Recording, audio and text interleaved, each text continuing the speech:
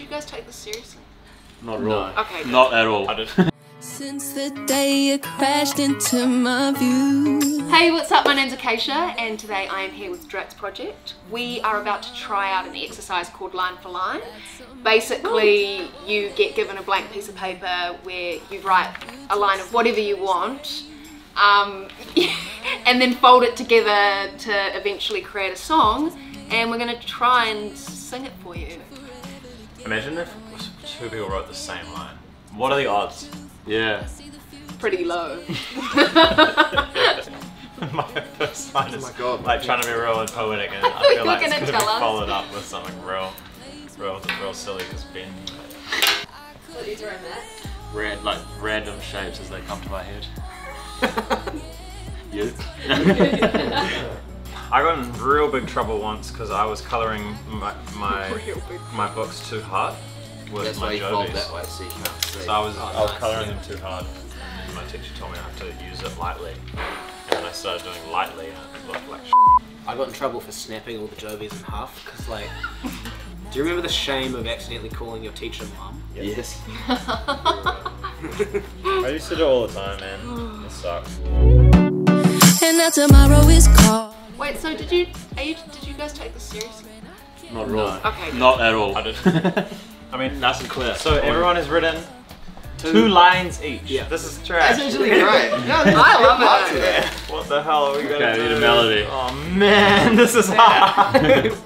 Play the beat. Give us the beat. this is gonna be. We need a couple of hours. A little out. Oh, Like- the verses like, could be like it. And at the end of the day, Oh, Yes. cop the out. sun. Oh. You just reversing it? It's for an intro. Okay, great. It's fire. Sorry. Start from- Seventeen. Let's go from the top.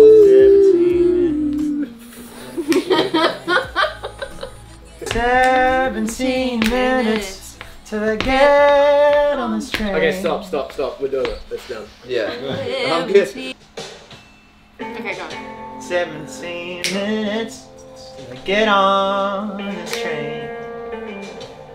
But that's when it all came together. Two, two, three. One day the goat traveled far and wide. Get lost in the city cause he don't belong there. Potato top nonsense. and of course that's. Not sensible, you move, the way you move is astounding. Found out who I used to be under my bed. Under his I've bed. eaten way too many oranges. Not too many oranges.